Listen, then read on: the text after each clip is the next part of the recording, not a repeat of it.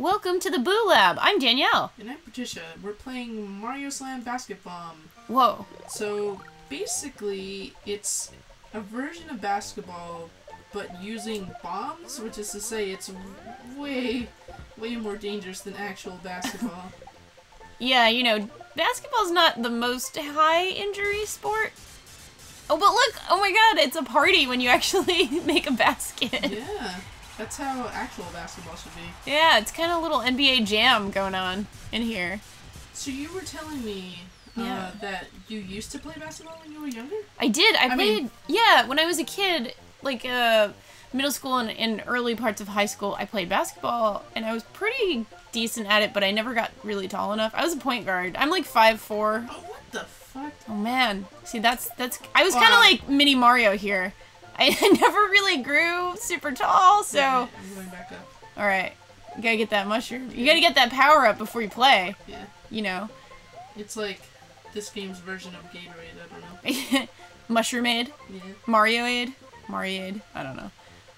Um, but yeah, I played a lot of sports growing up, and then I still do. Like, I. Yeah, I was about to say, like, okay, what sport did you not play when you were younger? Because Danielle, for those of you that don't know, is is kind of a jock. She I'm she- such a jock. She loves every sport, and in fact, I think we're probably soon about to start another like vlogging series uh, within the Cabal that's just her doing fitness stuff, like teaching you how to. Oh, I shouldn't have taken that. No. that's alright. Uh, teaching you guys how to do how to throw a punch, like Mhm. what sort of workouts you can do, and all that other stuff. That's just how much look at look she at this. loves working out and stuff. Yeah, look at this trick shot setup. You gotta jump on the spring. You gotta do this whole thing.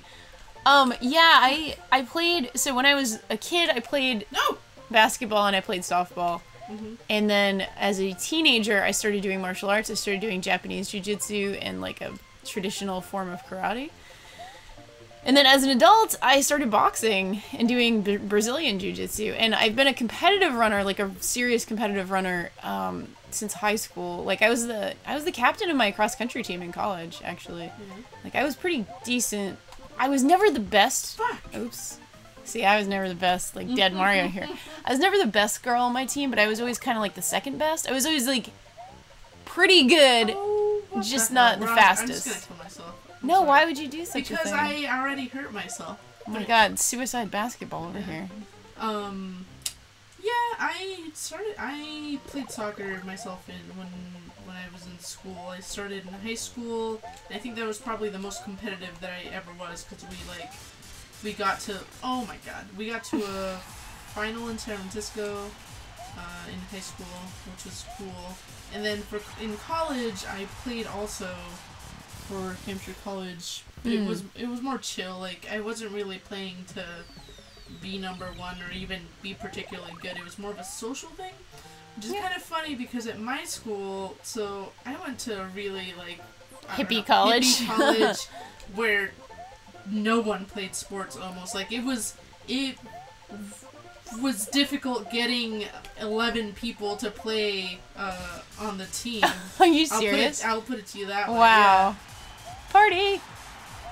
That's funny. I, I went to my college for so I went to grad school after college, but my college, my normal four year university was a very jock oriented college. So we went actually. to completely different Yeah, we really did. I mean, it was a liberal arts college, but like, and it was Division three, so it wasn't like crazy. But um, like, okay, for running, Division three is actually still competitive because you're probably not going to get, you know, ridiculous scholarships for running, basically. So like, people who are competitive runners might still go to a D three school because they're going for engineering or they're going for whatever else. Like, it's not like a football scholarship. You know what I'm saying? Like, it's a sport that doesn't have quite the same Yeah. pull as other sports. So Division Three is is reasonably competitive for cross country, and I played lacrosse too in college actually. And I never um I never had a high school lacrosse team, so I taught myself how to play lacrosse and got kind of good enough to play on the you know the varsity team in college. Danielle tried teaching me also.